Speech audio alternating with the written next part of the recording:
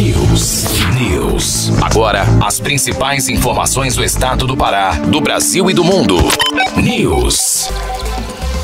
A caçada aos criminosos que fugiram do presídio de Mossoró, no Rio Grande do Norte, é intensa. A operação de recaptura conta com sobrevoos, barreiras em estradas e varreduras no meio do mato, dia e noite.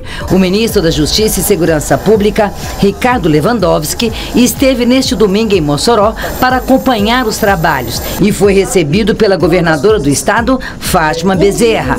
Após se reunir com o pessoal que elabora as ações de inteligência, o ministro conversou com a imprensa.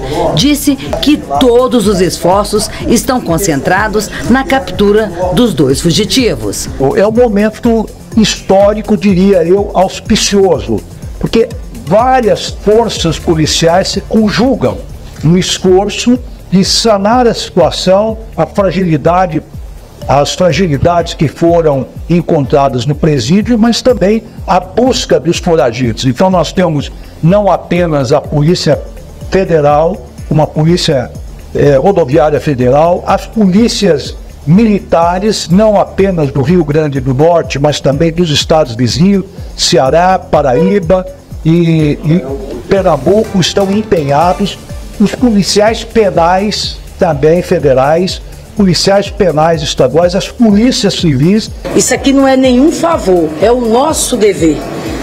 É assim que as coisas devem exatamente serem feitas. É o sistema único de segurança pública. A informação atualizada em aprovinciadopará.com.br. Aqui você fica bem informado. A qualquer momento, mais news.